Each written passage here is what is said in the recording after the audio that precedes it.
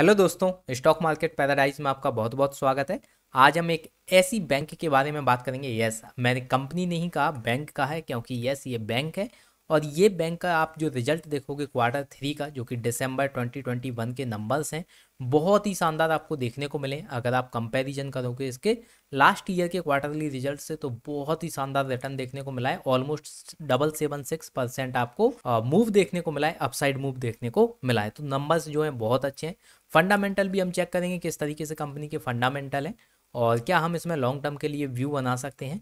तो ये भी हम पूरे तरीके से एनालाइज करेंगे कि क्या हम इसे होल्ड कर सकते हैं आने वाले दो से पाँच साल के लिए। तो चलिए बात करते हैं, जिस बैंक की हम बात कर रहे हैं, इसका नाम है यूको बैंक और इसका नाम आपने सुना ही होगा। बैंक्स में बहुत ज़्यादा आप ये नाम सुनते होगे यूके बैंक्स और आईसीआईसीआई जैसे कि एचडीएफसी तो लेकिन हालाँकि ये बहुत छोटी बैंक है, लेकिन नंबर्स जो हैं बहुत ही इन्होंने सरप्राइज़ कर दिया है लोगों को। जो भी इन्वेस्टर हैं, उनको भी सरप्राइज़ कर दिया कि इतना बड़ा नंबर हमें किस तरीके से देखने को मिला है। और आप देखोगे कंसिस्टेंटली एक दो सालों से ये जो बैंक है, लगातार प्रॉफिट बना रही है और अच्छे नंबर में ये प्रॉफिट बना रही है। अगर बात करें यहाँ पे यूको बैंक की तो हम इंट्रोडक्शन लेते हैं, किस तरीके से हमें ये बैंक देखने को मिलती है। देखिए, अगर हम रेशियोज देखें 2021 के लिए क्वार्टर थ्री का जो रिज़ल्ट है तो आप उसमें देखोगे कैपिटल एडोक्वासी रेशियो जो है बारह पॉइंट ज़ीरो आठ परसेंट है। नेट इंटरेस्ट मार्जिन 2.87 परसेंट है। ग्रॉस एनपीए एनपीए का मतलब क्या होता है? नॉन परफॉर्मिंग एसेट ये भी मैं आपको वीडियो बनाऊँगा जब पूरी हम सीरीज़ बनाएँगे स्टॉक मार्केट फॉर बिज़नेस उसमें सब कुछ आपको डिटेल में समझ में आ जाएगा। ग्रॉस नॉन परफॉर्मिंग एसेट है 9.80 percent net non performing asset है 2.97 परसेंट और कासा रेशियो जो कि करेंट अकाउंट, जो कि आप देखोगे deposit and current and saving account का जो टोटल डिपॉजिट होता है, अगर आप वो देखोगे तो ये thirty eight point nine one percent निकल के आता है। तो ये सारा डेटा हमें तो देखने को मिला रेशियोज़ में। अब हम बात करें ब्रांच नेटवर्क किस तरीके से देखने को मिलते हैं कंपनी सॉरी बैंक के। तो आप देखोगे अक्रॉस इंडिया इसके आपको इकतीस सौ ब्रांचेज देखने को मिलेंगी ऑल ओवर द इंडिया और twenty three hundred A T Ms है। हालाँकि नंबर बहुत कम है ए टी एम्स का। लेकिन ये जो बैंक है धीरे धीरे ग्रो कर रही है। देखिए, बहुत छोटी बैंक है, फ़िलहाल तो आपको छोटी देखने को मिल रही है, लेकिन आने वाले टाइम में हम एक्सपेक्ट कर सकते हैं कि ये एक दिन बहुत बड़ी बैंक बन जाएगी, अगर इसी तरीके से ये नंबर शो करती रही। अगर यहाँ पे लोन बुक की बात करें, जो कि बहुत ज़्यादा इंपॉर्टेंट होता है किसी भी बैंक के लिए, कि उसकी लोन बुक किस तरीके से काम कर रही है। तो रिटेल की अगर बात करें रिटेलर्स जो है ट्वेंटी सिक्स परसेंट यहाँ से लोन लेते हैं। एमएसएमई को ये बैंक अलॉट करती है twenty six percent of the loans corporate and others को ये twenty six percent almost allocate करती है और एग्रीकल्चर के लिए ट्वेंटी टू परसेंट तो इस तरीके से लोन बुक देखने को मिलती है बैंक की। अगर हम यहाँ पे इंटरनेशनल बिज़नेस देखें तो टू ओवरसीज ब्रांचेज आपको देखने को मिलती हैं, जो कि आपको अदर कंट्रीज़ में देखने को मिल रही हैं। एक है हांगकॉन्ग में और दूसरी है सिंगापुर में। तो ये दोनों आपको केवल ओवरसीज ब्रांचेज देखने को मिलेंगी ऑल ओवर दी वर्ल्ड या तो इंडिया में है ये बैंक या फिर हांगकॉन्ग और सिंगापुर में। फिर अगर हम कैपिटल रेज फ्रॉम गवर्नमेंट की बात करें, देखिए, जो भी बैंक्स होती हैं, उनको कहीं ना कहीं से मनी तो रेज करना ही पड़ता है, कैपिटल रेज करना पड़ता है। तो इस बैंक ने जो भारत सरकार से रुपया लिया है तो ये कितना लिया है? देखिए लास्ट अगर चार साल का डेटा देखें तो बहुत बार यहाँ से बैंक रेज कर चुकी है भारत सरकार से मनी और इसकी वजह से आप देखोगे कि इक्विटी कैपिटल जो है, ये इंक्रीज हो गया है एक हज़ार करोड़ से।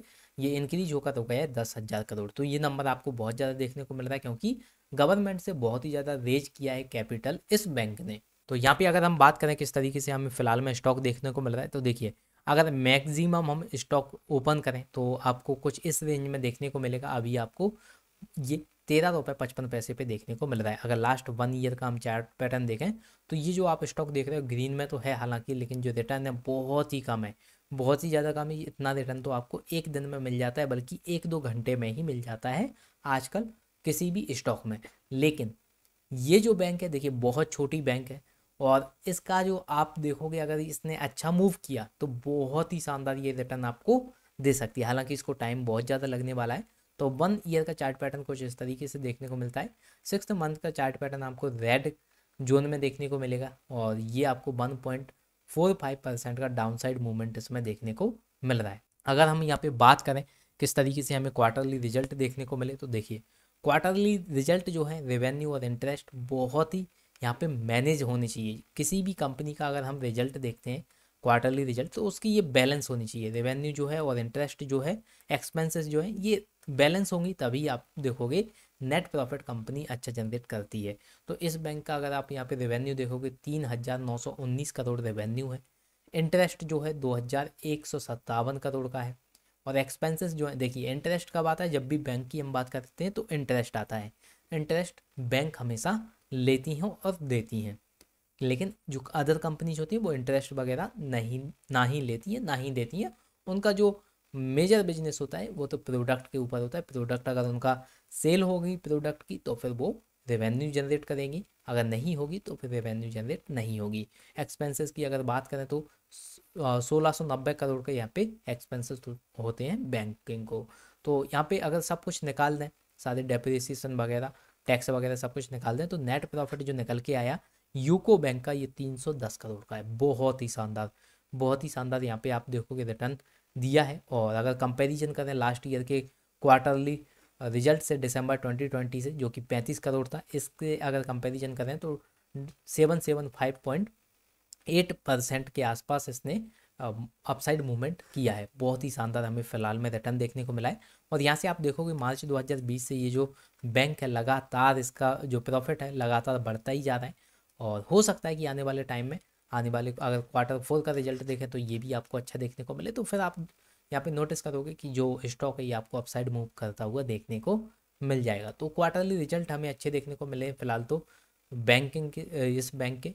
और बैलेंस शीट की अगर बात करें बोरोइंग आप देखोगे, बहुत ही बड़े नंबर्स में दो लाख इक्कीस हज़ार करोड़ की बोरोइंग है और तीन सौ दो करोड़ भी ये नेग्लिजिबल नहीं है। तीन सौ दो करोड़ भी बहुत बड़ा नंबर होता है। तो बोरोइंग भी बहुत ज़्यादा है कंपनी के ऊपर। रिज़र्व अगर आप देखोगे, बहुत ही ज़्यादा कम है। दस हज़ार अट्ठासी करोड़ के रिज़र्व हैं, जो कि एक अच्छा नंबर नहीं है, अगर बोरोइंग को कंसीडर करें। और टोटल लाइबिलिटीज जो निकल के आती हैं, ये दो लाख तिरपन हज़ार तीन सौ छत्तीस करोड़ की फ़िलहाल में हमें देखने को मिल रही है। इन्वेस्टर पैटर्न की अगर बात करें तो प्रमोटर्स जो हैं, इन्होंने तो पूरा ही यहाँ पे होल्डिंग ले रखी है। अगर हम कहें ओवरऑल तो पूरी आपको होल्डिंग देखने को मिलेगी प्रमोटर्स की। 95.39 परसेंट यहाँ पे प्रमोटर्स आपको देखने को मिल रहे हैं। F I I foreign institutional investor point zero seven जो कि नेग्लिजिबल है। डोमेस्टिक इंस्टीट्यूशन इन्वेस्टर जो है one point two eight percent देखने को यहाँ पे मिलेंगे और पब्लिक जो है three point two six percent है। बहुत सारे स्टॉक हैं जिनमें पब्लिक इतनी भी नहीं है, लेकिन बहुत सारे आपको स्टॉक ऐसे भी देखने को मिलेंगे जिसमें पब्लिक फिफ्टी परसेंट है।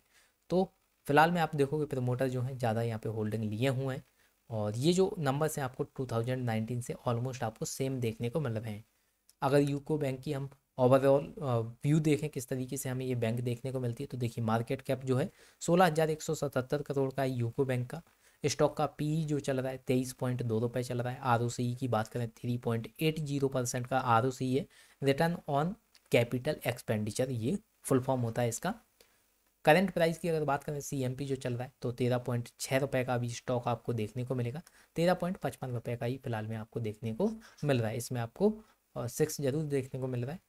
यहाँ पे बुक वैल्यू आप देखोगे सोलह पॉइंट सात रुपये की है, जो कि बुक वैल्यू से भी नीचे ट्रेड कर रहा है ये स्टॉक आर e की बात करें रिटर्न ऑन इक्विटी तो ये पॉइंट थ्री फाइव परसेंट फ़िलहाल में देखने को मिल रही, बहुत ही कम है, बहुत ही ज़्यादा कम है। अगर आपको इतनी ज़्यादा रिटर्न ऑन इक्विटी मिलती है तो सब लोग आपको सजेस्ट करेंगे कि ऐसी कंपनी में आपको इन्वेस्टमेंट नहीं करना चाहिए। हालाँकि बैंक जो है, अब ग्रोथ कर सकती है, इसके नंबर अच्छे निकल के आ रहे हैं तो फिर हम एक्सपेक्ट कर सकते हैं कि आरओई इसका इम्प्रूव करता हुआ हमें देखने को मिल जाएगा। फिफ्टी टू वीक की अगर हाई की बात करें, सोलह पॉइंट चार रुपये का हाई लगाया है इस कंपनी ने। बार बार मैं कंपनी बोल रहा हूँ, माफ़ करिएगा। जो बैंक ने हाई लगाया है, सोलह पॉइंट चार रुपये का, ये ऑलमोस्ट बुक वैल्यू के पास में ही आपको देखने को मिला था। यानी कि जो फिफ्टी टू वीक का अगर हम चार्ट देखें तो सोलह पॉइंट सात रुपये से ऊपर ये गई ही नहीं है।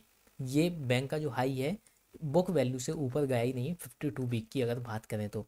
लो जो लगाया है टेन पॉइंट सिक्स रुपीज़ का इसने लगाया है और एक शेयर की फेस वैल्यू की बात करें तो ये दस रुपये देखने को फ़िलहाल में मिल रही है।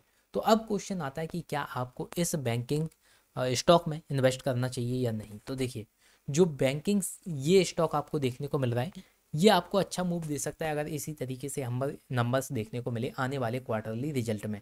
अगर क्वार्टर ऑन क्वार्टर ये कंपनी या ये बैंक प्रॉफिट बनाती गई और आपको ईयर ऑन ईयर अच्छी ग्रोथ देखने को मिली इस बैंक में तो फिर आप देखोगे जो तेरह का स्टॉक है, अब ये फ़िलहाल चल रहा है, ये हंड्रेड रुपीज़ पर भी आपका जो, आपको जाता हुआ देखने को मिल जाएगा। हालाँकि बहुत ज़्यादा इसको मेहनत करनी पड़ेगी, बहुत ज़्यादा टाइम भी लग सकता है। यहाँ पे हम बात कर रहे हैं टू टू फाइव ईयर्स की, दो से पाँच साल के बीच में से टाइम लग सकता है। अगर इसी तरीके से नंबर ये शो करती रही तो फिर हंड्रेड के आंकड़े को भी ये छू जाएगी। तो मेरा जो मेन मकसद है इस वीडियो को बनाने का मेरा बस यही कहना है कि आपको इस बस, इस बैंक के ऊपर नज़र रखनी है। अगर इसने अपसाइड मूवमेंट दिखाना स्टार्ट किया, अगर ये सोलह पॉइंट पाँच रुपये को क्रॉस करती है तो फिर इसको मैं आपको अच्छा अपसाइड मूवमेंट आपको देखने को मिल जाएगा। क्योंकि ये इसके लिए रेजिस्टेंस है। देखिए, बहुत ज़्यादा रेजिस्टेंस है ये और ये ऑलमोस्ट आपको सपोर्ट लेवल देखने को मिलेगा कुछ ये। तो सपोर्ट लेवल भी ये कंपनी अभी तक ब्रेक नहीं कर पाई है। और रेजिस्टेंस भी ये ब्रेक नहीं कर पाई है। अगर जिस दिन ये ब्रेक कर देगी, यहाँ पे ज़रूर आपको जो सपोर्ट है ब्रेक करता हुआ देखने को मिला था, लेकिन फिर से इसने रिवर्सल दिखाया और फिर रेजिस्टेंस को टच किया। तो यहाँ पे अगर जिस दिन इसने रेजिस्टेंस को ब्रेक किया और अपसाइड मूवमेंट कर गई एक दो रुपए का, फिर आप देखिएगा, ये जो स्टॉक है आपको भागता हुआ देखने को मिलेगा। तो इसके ऊपर भी आपको नज़र ज़रूर रखनी है यूको बैंक के ऊपर। और ये रही वीडियो यूको बैंक के ऊपर, सब कुछ मैंने डिटेल में आपको बता दिया। अगर इसके बाद भी आपको कोई डाउट होता है, कोई क्वेश्चन होता है तो आप कमेंट कर देना, मैं आपके सारे क्वेश्चन के आंसर कर दूँगा। So thank you for watching this video दोस्तों, मिलते हैं अगली वीडियो में। तब तक आप अपना ख्याल रखें।